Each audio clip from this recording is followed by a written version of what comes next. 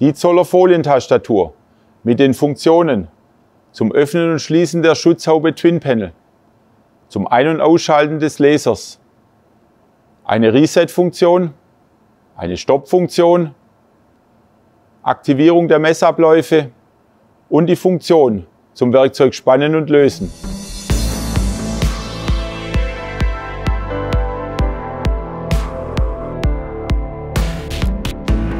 Auf dieser modernen Folientastatur sind damit alle wichtigen Bedienelemente ergonomisch angeordnet.